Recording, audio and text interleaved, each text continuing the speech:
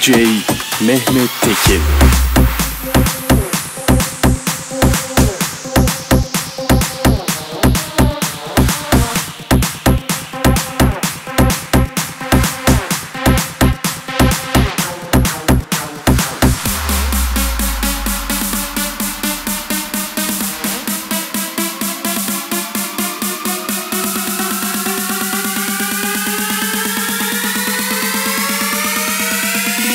make the bass drop rough.